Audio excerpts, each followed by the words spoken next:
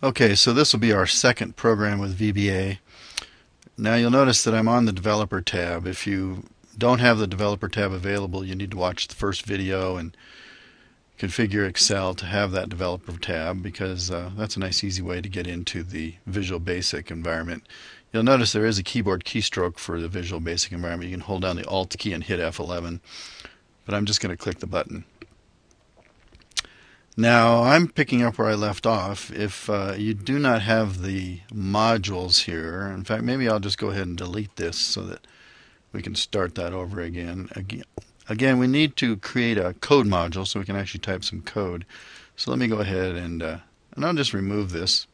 It says do you want to export it? No I don't want to export it. So I just removed it and so here I am like I'm starting from scratch and to put a module in, again, you right click down here in this white area just below uh, the, the workbook object that you see there. So I'll right click and say insert and we're going to insert a model, module. And there it is. And uh, again, it doesn't have any name, so maybe I'll just go ahead and rename that. Uh, just You just make sure that's the selected object. And then down here in your properties, you uh, highlight the name module there and uh, I'll just type code. And uh, there we go. Now I've just renamed it to code. Now um, this window is not full screen. I, I suggest that normally you zoom that up full screen. Now let's take one quick look at those options again just to make sure we got those set right so we go to Tools, Options, and we make sure we have all the little checkbox checked here. And I'm going to go to the editor, editor format, and I think I'll bump that up to 14 point font just to make that a little bigger for you. So here we're going to go ahead and just type in another little short program. So all of our Visual Basic programs are going to be broken up into little code groups and uh, there are two ways to group your code primarily in Visual Basic and one of them is a sub. That's a shortcut for subroutine. So if I just type sub, and then I type in the name of my subroutine, and your names really generally should start with a letter. So I'm going to type sub1. And then I'm going to hit enter, and uh, Visual Basic will add the rest for me. So I just hit enter, and notice the parentheses are inserted for me, and the end sub is inserted. Now I'm going to go ahead and uh, just put in a lot of blank space here just to make it a little easier to read. So I'm going to put a couple of returns in. And now I'm going to tab over and I'm going to type a comment.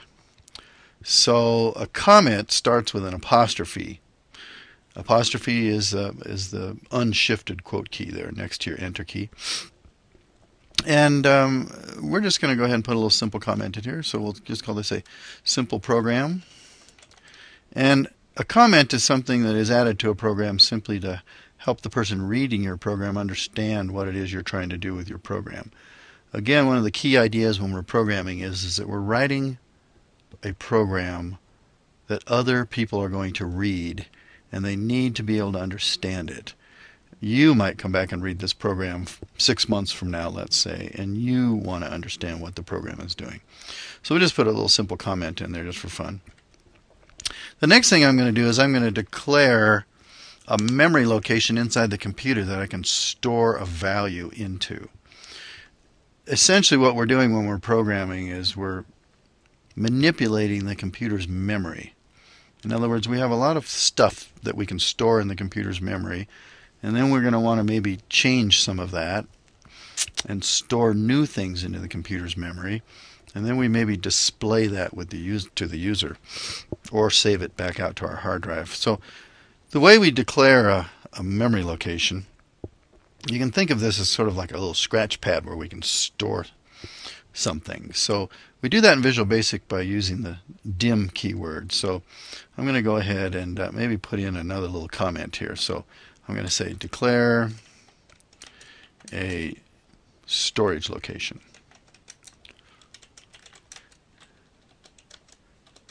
In memory, let's say memory. Now, when I say memory, I'm talking about the computer's RAM memory, the memory that is lost when you turn the computer off.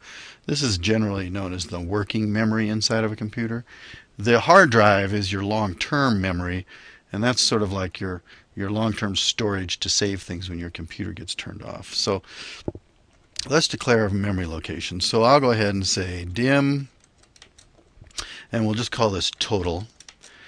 And when we declare a memory location, we we give it a name. As you see here, I've given that a name. But I also need to tell it what kind of stuff I'm going to store into that memory location. So the kind of stuff I want to store into this memory location is going to be a long. A long is a whole number. It's a it's a big whole number. It can go up to approximately 2 billion plus or minus. But it's a whole number, it has no decimal part. So let's just go ahead and, and declare that memory location. And now we want to store something into that memory location. So I'm going to store a number and we'll go ahead and do that. So the way you store a value into a memory location is first you give the name of the memory location. In this case, the name of the memory location is total. And then we want to store a value into it. So we say total is set equal to, and that and notice how I said is set equal to. That's the assignment operation that you see there. The equals uh, is the assignment operation.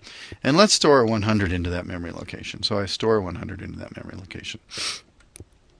So that's that's a pretty easy idea. What if we wanted to add something to that memory location? So let's say, you know, add um, 10 to our memory location. Well, the way we would add 10 to that is, well, again, we want to store the value once we get done with the addition. We couldn't just say total plus 10 because then where would we put that? We always have to store everything if we want to get back to it later. So what we really want to do is we want to do another storage. So we're going to say total is set equal to. And then we want to take what's currently in total. And of course, if you stop and think for a minute, you'll notice that 100 is the current value of the 10 total. So we'll take our total, which is currently 100, and we'll add 10 to that. So you'll notice on the right hand side it says total plus 10. Well, total is 100. You can see up above it's 100. This is just sort of like substitution in, in math. You know, you substitute values in for your variables. Well, in this particular case, the value of total is 100. We then add 10 to it, and then we store it with that assignment operation back into total. So once we're finished with that, what should be the value that's stored in total? Well, the value that's stored in total ought to be 110, of course. Now, we can always use a message box, MSG BOX, to display a value in the computer's memory anytime we want to. So if I just say message box, MSG BOX, and then type a space, and then type in total, then what that'll do, of course, is that will display that memory location. So maybe we ought to put a little comment in there that says that. So let's just say display the memory location total. So our message box statement should do that. And if everything works the way we expect, we ought to see the value 110 on the screen. Now, again, how do we run a program? Well, if you'll notice again, up at the top, you have the little little arrow there that says run that particular program. Now you'll notice that my cursor is still inside this subroutine. So if your cursor is actually inside the subroutine, when you press the run button, it will run the current subroutine your cursor is within so that you won't have to actually pick the name from a list. So it's a little easier if you leave your cursor inside the subroutine. So let me go ahead and hit that run button. And indeed, it displayed 110, and we're feeling pretty good about that. Click OK, and you're back in your Visual Basic, back in your program. Again, we've done a number of things here that are important. One is we declared a storage location in the computer's memory.